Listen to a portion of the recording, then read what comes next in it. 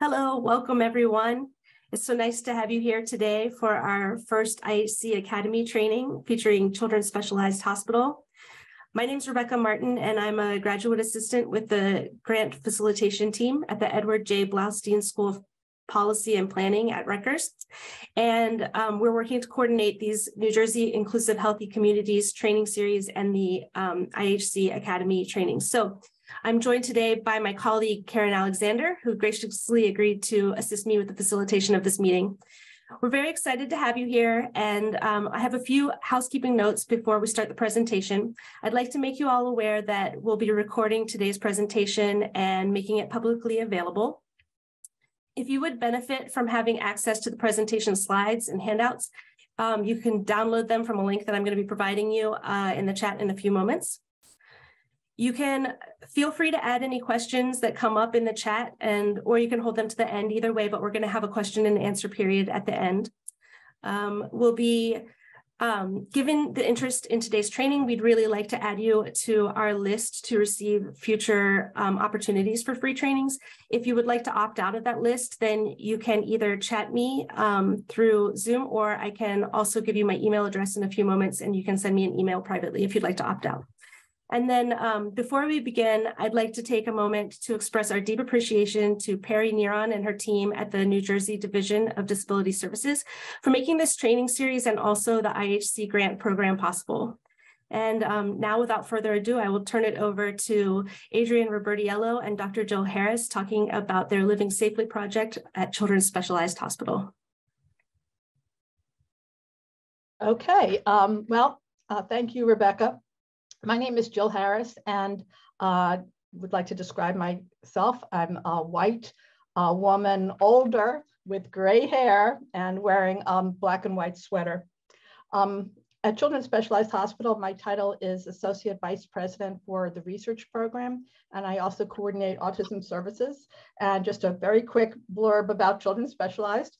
Um, we're the, the um, largest provider of um, special of care to uh, children with special health needs, I think in the country. Uh, we're a very large uh, provider of services in this region, and we have 15 locations throughout New Jersey. We were super, super proud to be a recipient in the, um, the cohort, the first cohort of the Inclusive Healthy Communities Grant. We want to tell you um, about that grant. I also just want to say that I'm also a parent of an uh, adult son with autism and the sister of um, an adult with chronic illness. And it's my uh, huge pleasure and joy to introduce my friend and colleague, Adrienne Robertiello. Hi, everybody. Um, I'm Adrienne, and I am a middle-aged white brown haired woman with blue glasses. Um, I have a um, black and brown shirt on and behind me are lots of resources that um, I need to start distributing out to many people. So you'll see a lot of uh, uh, interesting background on my end. Um, I am a, a person who identifies with as a uh, with a disability. I also have an adult son with autism and multiple disabilities. Um, and um, my position here at Children's Specialized is special health care educator, where I primarily work to uh, develop um, education and uh, and resources for people with disabilities and their families focused on inclusion. A lot of the work that we do is on safety. Um, and so we're really proud today to talk about the work that we've done through the state, through the Living Safely program. Um, I, I it was one of the best grants that I've ever worked with, and I know Jill would agree with that, and we can't wait to share that with you. Jill, do you want to start? Or am I starting? I'm starting. I'm starting. okay, so living safely with disabilities and special health needs. Uh, that is the name uh, that we um, we and I'm going to include um, all of our uh, core partners that we'll talk about in a moment, uh, including people with disabilities, uh, they were involved from the very beginning of our grant, even in the grant proposal, excuse me, and they helped de um, develop the name, the branding, everything. So I really want to emphasize that we involve people with disabilities from the very beginning of our grant. And um, we're going to talk through this um, webinar today about how important that is. Um, we know that, and this is where um, our the foundation of our grant uh, came from, that dis uh, disabled people are a large and growing population that are often unprepared for situations that put safety at risk or cause injury. Um, service providers, including emergency responders, are often inadequately trained to identify, interact with, and address safety concerns of people with disabilities. I do want to acknowledge that throughout um, today's webinar, and in fact, in all the work that we've done, uh, we use um, both disabled people and people with disabilities interchangeably, the identity first and the people first. Um, we do that purposely so that we can respect people's choice and how they would like to be identified. So it's really something I'd like to emphasize in a lot of the work that we have done. Um, and overall, the grant and the work that we've done, the intent of the whole project was to set the groundwork for equity and innovation, right? We want to make sure that what we're doing now and in the future includes people with disabilities because safety is a fundamental human right. I also want to, uh, you may have heard safety, um, sorry, health literacy. So health literacy um, is just help making sure that patients understand what the doctors are telling them. And we thought it was important that we emphasize safety literacy. And that's the degree to which individuals have the capacity to obtain, process, and understand basic safety information, services, and supports to live safely, prevent hazards, prepare for emergencies, and respond to emergent situations every person has the right to be safe.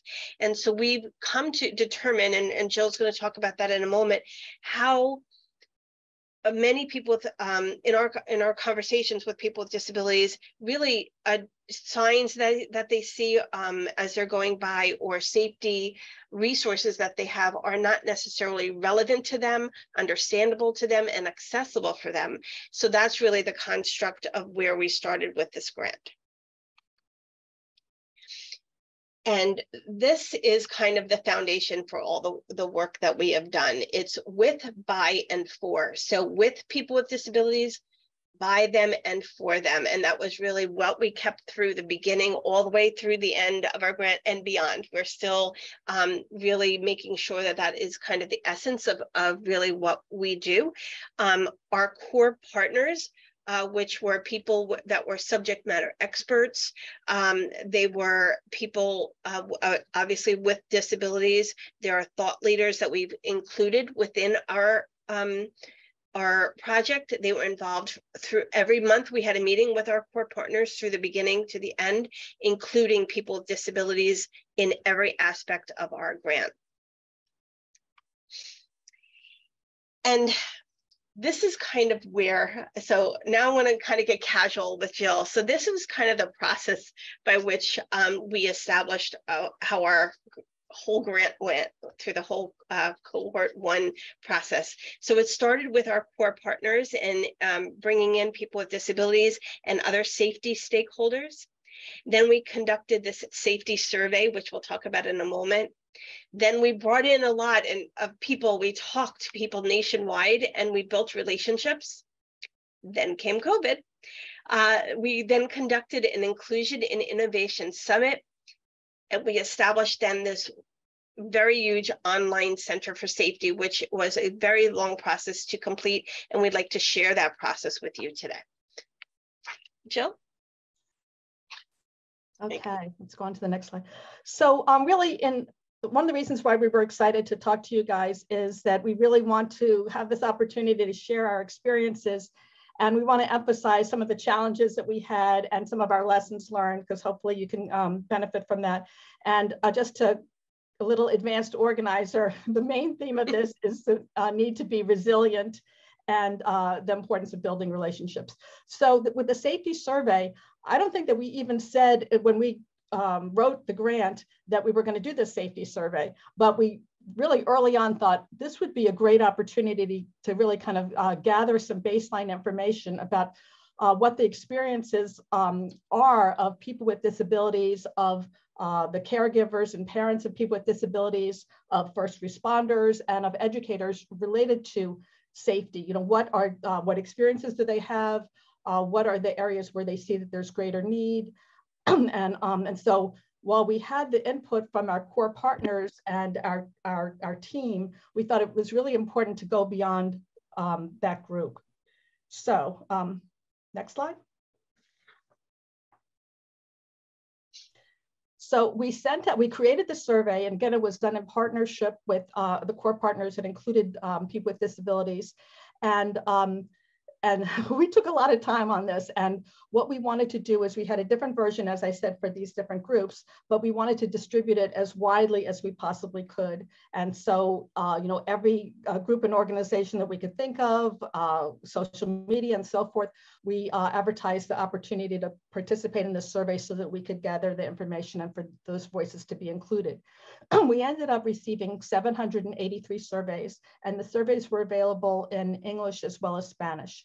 Um, again, there's lots of lessons learned. And if this was one of the things that you'll see as a recurring theme is that we had this a plan for what we would do and then we thought bigger. You know we said okay this is what we would, wanted to do but then is there a way to kind of expand this? Is there a way to kind of get um, not just uh, you know local input but what about statewide? What about regional? What about national um, so that if this was our only task of the grant, we would have thought it would be very important to get this baseline survey, this national survey, and, uh, and really get the word out there about what the needs are. But this was just one little tiny portion of our grant. And like I said, it was kind of unplanned.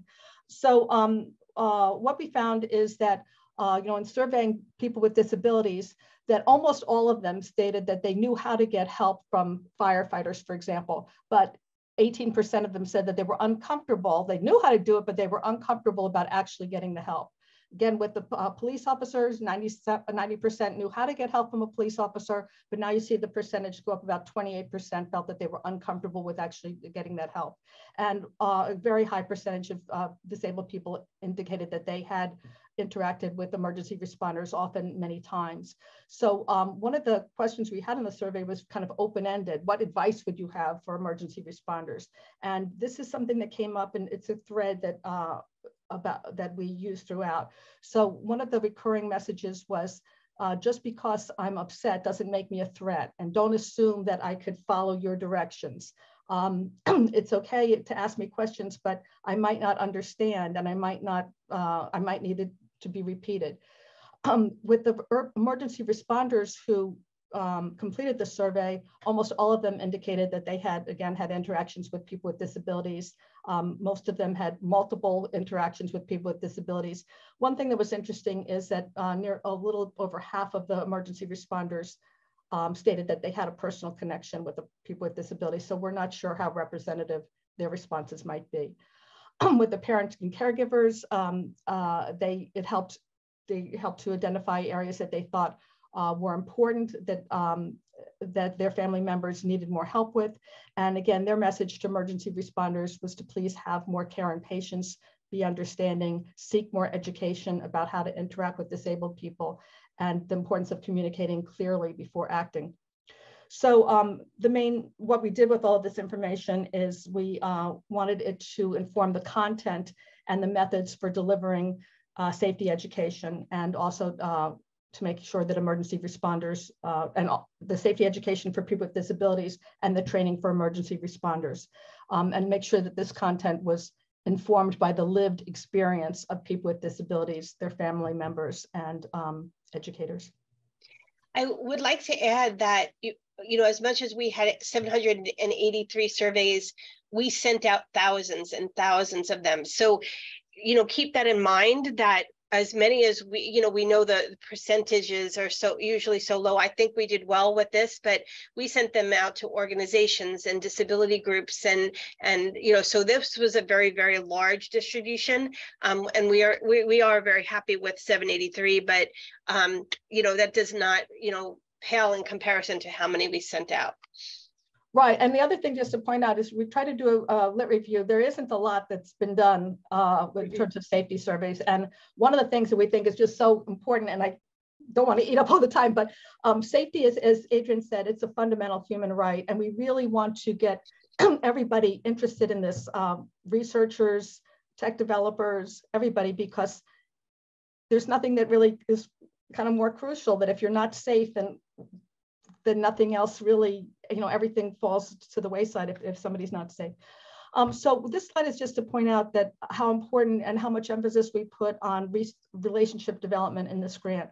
Adrienne spoke uh, earlier about um, how we uh, formed our, our core partners and uh, reached out right from the very beginning in conceptualizing this uh, project with people with disabilities. And this group grew. So one of, uh, while we had um, uh, uh, many people who were involved from the get-go with disabilities, it became apparent to us the importance of intersectionality. We needed more representation from people um, who were not white, people who were Latino, um, people from different backgrounds. And so the group expanded over the course of the grant as we were able to add additional partners um, who represented uh, you know, different experiences. Um, we went into this really with in, intentionally. So Adrienne has done a lot of work prior to this grant as well in terms of safety um, education and safety training. So she had a lot of context. And well, we use these contexts to really expand and uh, in terms of the number of the subject matter experts that were involved in this. Um, you know, what happens is when you talk to one person, then it leads to, oh, let me introduce you to all of these other people. And so we had so many meetings, especially Adrienne, uh, where it just really expanded the network uh, to people on a, a national level. Uh, we each were involved in, in different groups. Um, whether it's uh, LEND or AUCD, and found that uh, we were able to then bring in uh, people on a national level who had interest and experience in some aspects of safety. um, as Adrienne said, we pulled in different uh, disability groups as well and Centers for Independent Living. Uh, we talked to researchers. One person would tell us about some research that was going on here versus there. So we pulled them in. Uh, we contacted people from CHOP, Children's Hospital Philadelphia. We found out that they were doing research on um, with virtual reality and uh, helping people with autism prepare for interactions with emergency responders. We talked to the tech developer they were working with. So you could just see, and I'm sure you guys all have a similar experience in terms of how one thing could just broaden. And I, know Adrienne and I had lots of conversations over the course of this grant is should we narrow it down? You know, I'm always one to say, oh, let's just talk about, you know, what we check this box. And she was, no, we have to think big. We have to use this opportunity to really expand the networks and get people talking to each other. Uh, so I think that that was super helpful. And it continues to be super helpful in terms of not just the networking, but the dissemination of, uh, of the products of this grant. I, I can't emphasize emphasize enough how important those relationships from the beginning and how they grew, grew and networked um, really were critical to this project and beyond. Um, and we'll talk about more that more in a moment. Okay, so one of the things that again that we knew right from the beginning from uh, in talking with our core partners was the importance of all the different aspects of safety. One of the aspects of safety that was really important was interactions between law enforcement and people with disabilities. I mean, us you know that there's been several high profile horrible uh, events that have happened but we learned from our our baseline safety survey that you know most people with disabilities had had some interaction sometimes it went well sometimes it didn't go well um, this is so i'm to talk about a little a little bit about this but i also want to put a pin in it because this is important things in terms of lessons learned and resilience so we had some um, some relationships with uh, law enforcement and, uh, and had done some work in some of the different municipalities. But uh, what we quickly learned is that this topic was so much bigger than we anticipated. Um, uh, it was it's really a very fraught topic. So some of the people with disabilities who we were reaching out to and some of the organizations uh, of um, disabled people said, we do not want to touch this topic at all. Uh, there's too much trauma history uh, behind it. We won't be in the same room, even the same virtual room with law enforcement. It's important, but count me out. Um, which we weren't really expecting. And again, we were naive in many, many ways, and there were so many lessons learned from this. It took us a much longer time than we thought it would take, actually getting our literal feet in the door uh, with some of the um, targeted uh, uh, municipalities, police departments, and fire departments. When we did finally have uh, get meetings face to face, what we learned is that in each situation, the first the law enforcement first responders really wanted to know more about how to effectively interact and build relationships with people with disabilities in each of the departments. They had done some work, they had gotten some training, but there are so many competing priorities, if you will. And uh, one of the things, one of them asked us outright is, are you going to be just like another grant who comes in, plops, does something, and then we never see you again when the funding ends? And uh, we said, oh, no, that's not our intention. We don't want to do that. We don't want to be that. But what ended up happening is to some extent, um, we did give resources and we hope that um, they continue to be disseminated. But um, you know, th there was a lesson learned that that's an issue. And I think that one thing is that, at least on this topic, you need to not just partner with, but have it maybe definitely co-led uh, by people in law enforcement.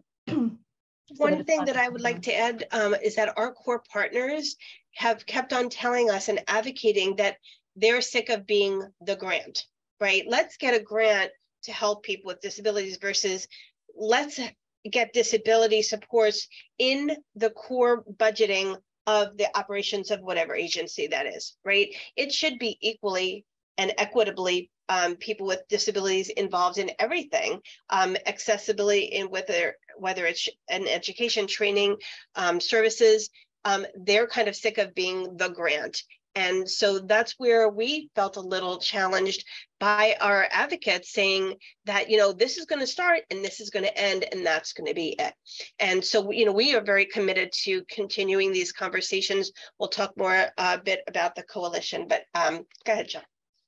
Okay, um, so uh, just to point out that we wrote the grant during COVID, uh, but when we wrote it, this was an 18 month grant and it was really hard to predict what was going to happen during the course of the 18 months in terms of if we could have events that were face to face. You know, we were hoping that we would. It ended up that we really couldn't, you know, just because of uh, you know COVID restrictions in this area. But uh, you know, I think it's a mixed blessing. And one of the um, big activities of our project was to have a summit series um, where we were talking about uh, innovations and inclusion and what's needed in terms of safety um, training and safety education. And because it had to be virtual, there was advantages to that because we had people from all over the country who participated and had a virtual seat at the table with each other. And we're going to talk more about that in a little bit. But if it had been in person and if we had really had that focus, yes, there's things, advantages to meeting in person, but it would have been much, much narrower in terms of who was able to participate.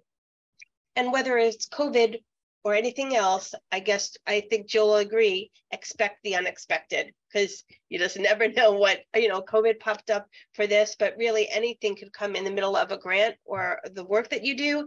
And again, that emphasis emphasis on resilience and you know you may have to pivot some of your work but really stay focused on the goal so um you know, many things, for instance, you know, some of the things that we were challenged by with law enforcement and, and other thing, other challenges that we had in accessibility. For instance, we were on our own website here at the hospital, which we came to find found out because we we're doing some web-based stuff that we weren't even accessible here and we're we didn't expect that or some of our the the portal so whether we used GoToMeeting we are using zoom now the, the portal that we used was not accessible. We did not even know until our advocate said to us, we're not even participating in these meetings because your meeting portal is not accessible. So all of these things we say when one door closes, we really had to kind of all of a sudden put our, you know, big girl pants on and say, what do we have to do? How do we need to solve that? So this is really a lesson for us in what what we're hearing back again directly from people with disabilities you don't know what you don't know and once you know you have a responsibility to do something about it so we you know we've had conversations here within our organization who are so receptive about oh my gosh we didn't realize that. Okay here we're going to help you in this way. But that's that whole when you know you don't know what you know the whole you don't know what's going to be put in front of you. That those things took us longer to do because of inaccessibility um, factors. So from the beginning you really need to be thinking about accessibility issues and things that might come up throughout the course of the grant. Excuse me. So um, in all of the work that we have done, and really we have to kind of credit ourselves that this was really a very complex grant. And if I were to do it all over again, well, I probably would do it all over again the same way, but it really was very um, complex and there was just a lot in it. Eh, there were so many parts of it that could have been a grant in and of itself. So we developed something called a project pipeline, which were a lot of the resources and, and we had resources and videos and all these other things that are part of the grant that we had to channel and figure out how to process. So we had review by our core advocates and our disability advocates who reviewed everything we did. How do we organize it? How do we maintain the formatting and the branding of it all? We had a whole process that we called Project Pipeline. And within that pipeline, we had our safety resources, our safety tools, community safety com conversations, and safety advocacy and information. Those are the categories of the work that we did and lots underneath. So uh, Jill mentioned that we had a summit. Summit. It was actually 11 sessions called the Inclusion in Innovation Summit. It was um, virtual. It was probably one of the most um, impactful experiences that I've ever had in my professional career. We had about 165 permit, um, participants nationwide.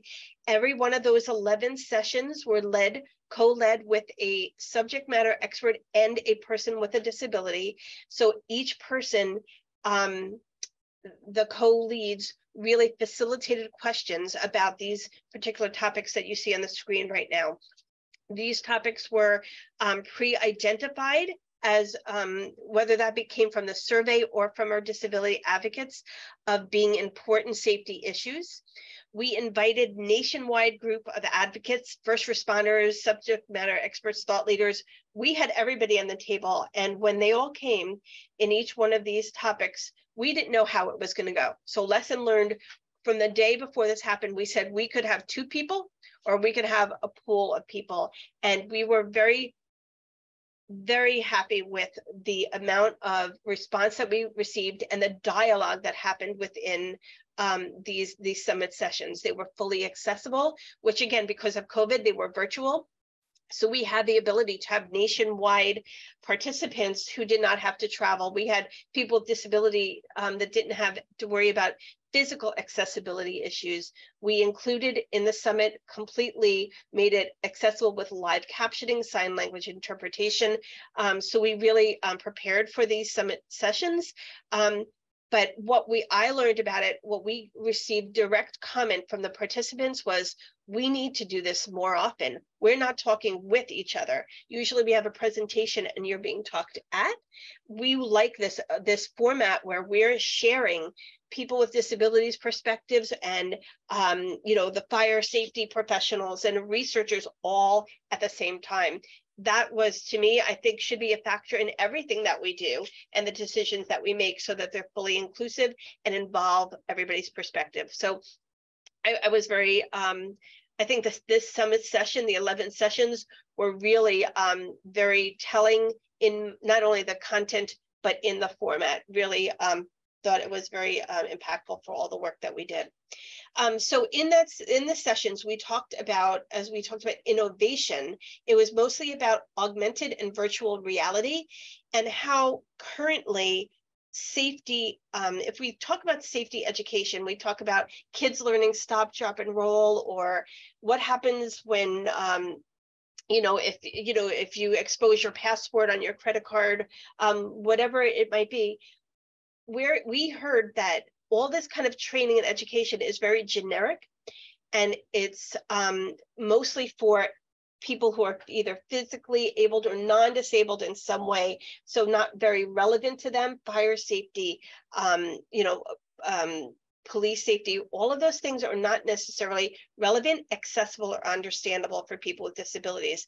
So we said okay let's how can we then make new technology that might be more accessible and more relevant and more um, uh, that we can get data on actually and really be able to say hey are people learning how to be safe? So that's where the ar vr came in. Um, it really encourages safe ways to practice. We know many of people with disabilities particularly intellectual disabilities or autism need opportunities to practice over and over.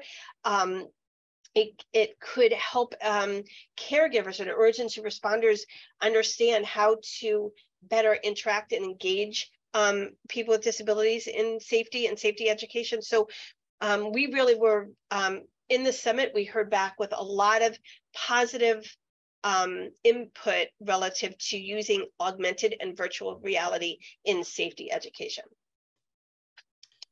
Okay, so as um, Adrienne said, uh, we had 165 people participate, but guess what?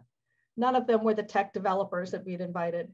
And this was really very disappointing because I mean, one of we wanted them to be literally at the table, the virtual table, to help inform and to hear what the issues were that were being identified and how this could work.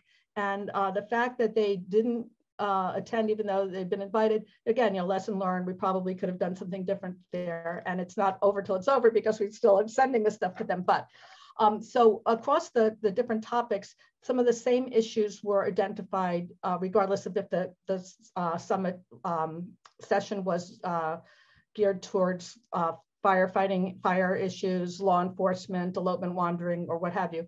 But so some of the repeated um, issues were, were that the safety education and resources that are out there might not be relevant, understandable, or accessible. They typically were not developed in partnership or with the input of people with disabilities. And uh, that even when there might be you know, simulation, so let's say if there's um, you know, uh, some training and you're doing some role play or something like that, they often do not include people with disabilities or issues related to people with disabilities. It was just felt like, ah, this is going to be too much. It's too complex to try to do that. Um, that emergency responders and direct service uh, providers, so it could be, um, you know, it doesn't have to be an emergency responder, they typically are not trained to recognize and address the safety needs of disabled people. And here's something that's important that when safety education is provided or safety training is conducted, there usually is not any out, there aren't outcome measures or any um, studies that look to say, did this really make a difference?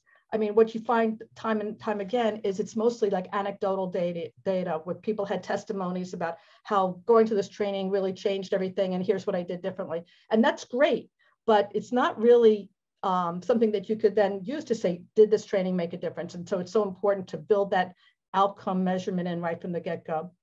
Um, also, there were limited opportunities to understand and uh, practice lessons in, in terms of how the um, lessons were being presented. And if you look at national databases related to safety, they tend to underreport what's going on for, for lots of different reasons. So that it's not as if that there's um, data that we could point to about the effectiveness of safety education or for people with disabilities or provider training for how to uh, better relate to people with disabilities. So some of the conclusions from the summit series, those were the issues. So some of the conclusions and recommendations were that um, it's most, it's really crucial to involve people with disabilities at all phases of the safety education and professional training.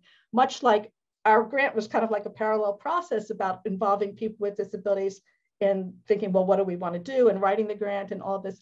The same thing has to happen with when you're uh, creating education and professional trainees, training. Um, that the emergency planners we learned wanted to work with disabled people, but didn't always know how to best do that. Um, as Adrienne said, we were asking, well, what about augmented reality and virtual reality? And the, um, the conclusion seems to be is that you can't, it can't replace the human interaction and safety education and training. There still needs to be some of some human interaction, but to incorporate it as part of the safety education and training really has a lot of pro, uh, promise because you could customize the situation. So like a lot of the, um, several of our disabled participants said that if they had a trauma history, that you could build things into the AR VR to allow for that. Maybe a different scenario, maybe allowing the person to exit out of there, uh, maybe ways of, um, of being able to uh, detect live in real time if the person's heart rate was starting to speed up or what have you. There's so many different ways to customize. You could customize the situation to reflect the race and ethnicity or the setting uh, of the safety situation. But the primary barrier is the cost and time needed to create this AR, VR, and the importance of making sure that, um, that the, uh, once it's created and in partnership with people with disabilities, that it's equally accessible for all. Uh, and that once it's developed, we think it, it, sounds, the feedback that we got is that it would be cost effective, as I said, customizable and highly impactful. so we took all of this and uh, we created a, a white paper um, which outlines the best practices for inclusive safety education and training through emerging technology. And the intention of this white paper is really to have a call to action for collaboration in lots of different areas. So one of the areas is research, really an opportunity to collaborate here to measure the utility of safety education and safety training, to measure the accessibility of this education and training, to measure uh, how well it actually generalizes uh, from the training environment to the real life situation? And does it end up in reducing injuries? So um, the that inclusion um, and innovation um, webinar web, uh, white paper was actually one portion of the whole online center for safety. So as I mentioned, we have lots, lots of components of that. The link is right there. And so I'm going to go through this quickly because I want to make sure we have enough time for questions at the end. Um, but the components of uh, living safely are safety resources, uh, safety tools, community safety conversations, and safety advocacy and information. Um, in safety resources, we have multiple topics. And in the course of our grant, we were able to identify nine different categories. There were so many others that we wanted to get to, and this involved so many different, it, it was so complex because every single resources that resource that we um, provided, we did in multiple formats. For instance, we um, provide in plain language and text only, um, audio only, a picture story, a narrated, narrated picture story, and text with images. So every single resource that's on this online Center for Safety is in all of these formats, as well as in English and Spanish. So that pipeline, um, project pipeline was really to track all of these different resources that we did. Uh, so in safety tools, we have um, things that hopefully that people with disabilities and their caregivers could use. Um, you could see one is on elopement and wandering. There may be identification or information about myself. Um, so we have multiple tools that are in uh, the online center for safety. We also have community safety conversations. So these are um, I guess, templates, if you want to call that, to help guide discussions between emergency responders and local residents. So we have found that most times it's after the emergency happens. You know, there, you know, we have a storm that's in place, or after the storm has happened. Now what? How are we helping people with disabilities through that? So we want to encourage those conversations within uh, communities to happen before an emergency. So the, we provide these tools for emergency responders and individuals with disabilities to have those conversations. And that's what we call community safety conversations. And lastly, we have um, a section called safety advocacy and information. Um, we have in that uh, first something called the Coalition for Living Safely with Disabilities and Special Health Needs. So it's a LinkedIn um, uh, uh, group, which we uh, invite organizations, agencies, emergency responders, academics, others, anybody who wants to talk about disability and safety, especially our disabled advocates, to be part of this conversation and continue, like we said, after the grant, to make sure this conversation continues and the work continues, hopefully in much more collaboration versus lots of things that are happening in silos as they are now um, I want to share with you one of the um, multiple, um, we did about nine public service announcements. Um, we thought it was important for people with disabilities to express how they felt, um, what, what important safety issues were important to them. We also wanted to provide some public service announcements that exposed people with disabilities to services that were available to them, such as um, in New Jersey, there's the New Jersey uh, NJ PIES or New Jersey Register Ready. We wanted to make sure they were aware of those um, services. So we have about nine public service announcements. And this one here was done um, with the clients from Opportunity Project, which is a program that supports adults with uh, traumatic brain injury. They share tips about safety and information that they want other people uh, with disabilities to know about, about the, they want to share with the community and with emergency responders. So this is just a small snippet of that, um, of that. Uh, what do you want first responders to know about people with disabilities? Some of them just don't respect you whatsoever, no matter what you do. I think they would be more understanding? That you're disabled, but I'm disabled, a woman, and my race comes into factor. I would tell him to use simple language for anybody who's disabled, usually in a wheelchair down to my level so I don't have to look up all the time. Don't talk to me like I'm a child. I think you'll be a little bit slower than the next guy. You may not, maybe some circumstances where you couldn't help yourself. Um, but should know, like you said, they probably should concern with you before people have full capacity. Well, I'm not on. I think that's respectful, we won't, like you said, your response time. And sometimes your, your um, takes us longer to think things out. So I was like, look at my hands. I'm, I'm, I'm, on my, I'm not going to point this one. I'd say that. Respectful of the police officer. That's no hands on. Uh, you know, tell me my response time down is great. I had two guys back a long time ago. And it still affecting very dearly. And I, I, I, um, I'm doing my best, also. And what do you think I should do? Let them know that you're you're not you're not really causing any trouble at all. And just ask ask if we can help you and um you tell a little bit history so what happened to you and, and know the circumstance. That's all. You, you have to repeat yourself some of the questions. Because I got pulled over for a police for, for going too fast in the school and he said, you're going to do a five dollar experience. Oh, I'm sorry, Austin he, he, he saw out a conversion town and when you're in a handicap, what happened to you? What happened to you? He said, well, okay, just be very careful and be conscious of it. So every time I go, hey, I'm make sure I go well below the screen. But you basically consciously have a setback, I think. It's very important for us. Jill? Um, so uh, we really encourage you to, uh, Rebecca put the link in the chat uh, for this, for our whole online safety hub.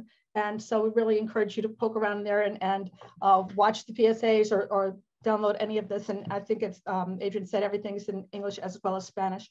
So one of the things here, uh, recognizing that we, it's important to disseminate the, uh, the work of this and to get the information out into the hands of people who could really make things happen, is that we took, um, we tried to distill a lot of the information that we learned and uh, put it into short, graphically interesting kind of information sheets again, geared to the audience uh, who can put this into action. Um, so the goal in, on this whole thing with the grant is not just to have a checkbox, okay, we did it, this was a time frame that we said we'd do it, but how do we really uh, disseminate and get the word out there? So for example, um, uh, some of uh, these things are just in like one page graphic form, and it could be geared to municipalities so that, uh, with guidance about how they can have these community safety um, uh, conversations with people and include people with disabilities from their communities and safety planning and so forth.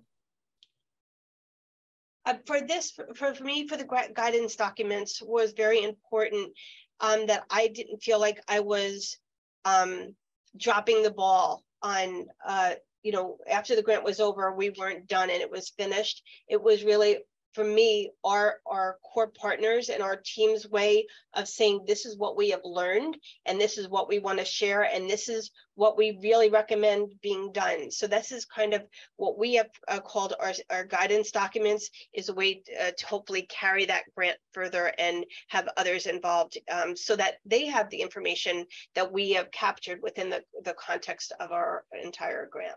And just to reiterate again that uh, this was informed by some of the people who uh, you know were part of the audience so that it's not just okay well uh, we have this thing plop you're at uh, you know it's that uh, that they were also having the virtual seat at the table and informing us so we just wanted to say thank you again so much um, to the Division of Disability Services, New Jersey Department of Human Services. It was really a joy to work um, uh, with the group and, and shout out to, um, to Peri Nearon and uh, Karen Alexander, who was our, our uh, one of our champion contacts. Definitely champions. so this is uh, contact information for Adrienne and me, and we would really love to open it up for uh, questions and, and comments and see what, what you all think.